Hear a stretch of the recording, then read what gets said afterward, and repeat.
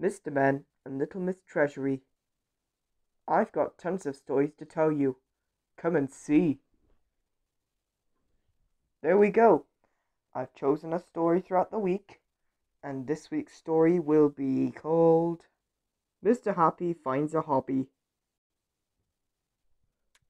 Mr. Happy is a happy sort of fellow. He lives in Happyland, which is the happiest sort of place. Behind his house there is a wood full of happy birds, and on the other side of the wood there is a lake full of happy fish. Now one day, not that long ago, Mr. Happy went out for a walk through the wood. As he came to the shore of the lake he heard an unusual sound, a sound that is seldom heard in Happyland. It was it was the sound of somebody moaning and grumbling, and Mr. Happy peered around the trunk of a tree.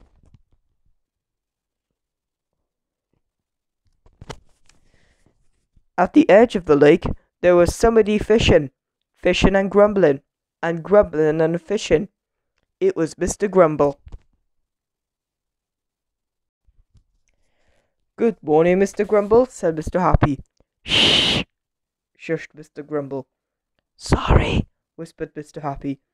Have you caught anything? Yes, I've caught a cold, grumbled Mr. Grumble.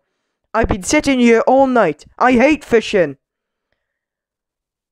Then why are you fishing? asked Mr. Happy. Because Mr. Quiet said it was fun. And you see, I'm trying to find something I enjoy doing. Something I could do as a hobby. Hmm, pondered Mr. Happy.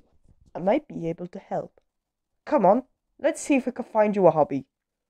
As they walked along, Mr. Happy thought long and hard, and as he thought, Mr. Grumble grumbled. He grumbled about the noise that the birds were making. He grumbled about having a walk, but most of all he grumbled about not having a hobby. Grumble, grumble, grumble. First of all, they met Mr. Rush in the car. Mr. Happy explained what they were doing. What's your hobby? asked Mr. Grumble. Speed, says Mr. Rush. Hop in. And they did.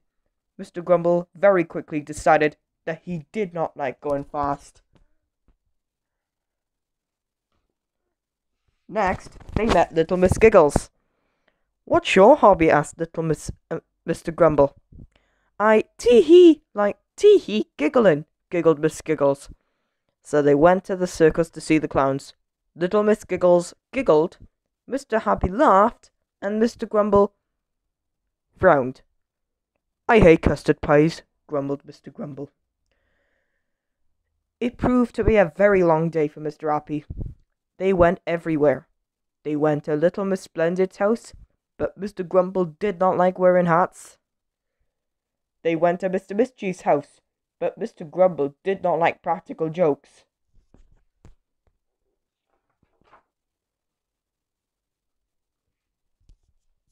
They bounced with Mr. Bounce and looked through keyholes with Mr. Nosy. But nothing was right. In fact, nothing was left. Mr. Happy ran out of ideas.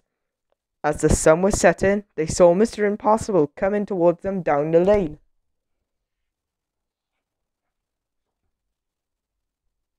Now, if anybody can help us, that's somebody out to be Mr. Impossible, said Mr. Happy.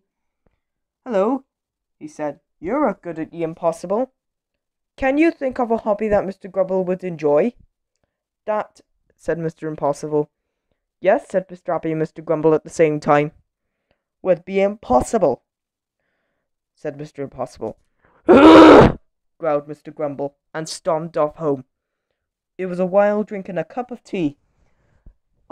It was a while drinking a cup of tea the next morning that Mr. Happy had an idea, a perfectly obvious idea. He rushed round to Mr. Grumble's house.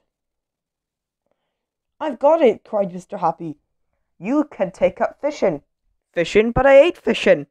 I know, but what do you what do you do while you are fishing? asked Mr. Happy. I don't know. You grumble, said Mr. Happy. And what do you like doing most of all? I like then it dawned on Mr. Grumble. I like grumbling. Mr. Grumble looked at Mr. Happy and then, for the first time in a very long time, he smiled.